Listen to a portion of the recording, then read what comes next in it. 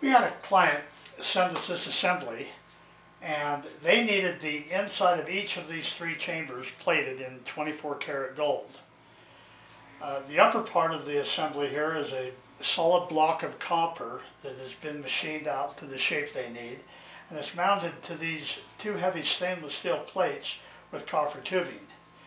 And we were able to plate the upper part of the box by immersing it into a, a tank and we plated it with an electroless nickel. However, it wouldn't be feasible to plate the inside of the chambers with gold using that method.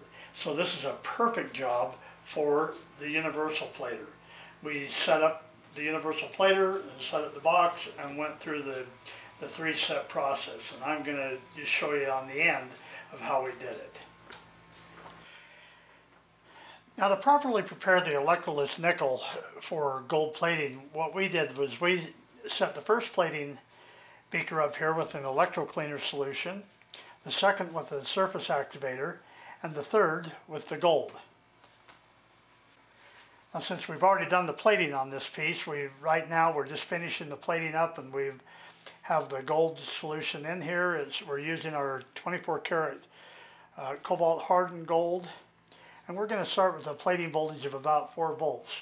We've taken the common lead and connected it to the uh, to the body of the assembly. What I've done is I've tipped the part down so that we have uh, a flat surface to work on. We put it over a collection tray here. And as you can see, the part has already been gold plated, gold plated. And so what I'll do is just show you how it went on. Um, we're carrying the solution to the part in the sleeve and the uh, electrical contact is made to the ground so the part has the negative charge and the solution has the positive charge.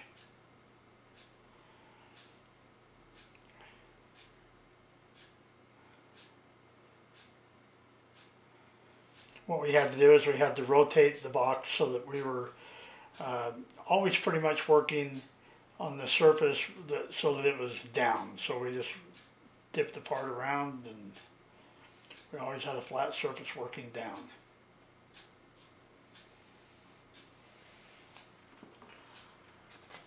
Rinse it with some distilled water and dry it with a paper towel.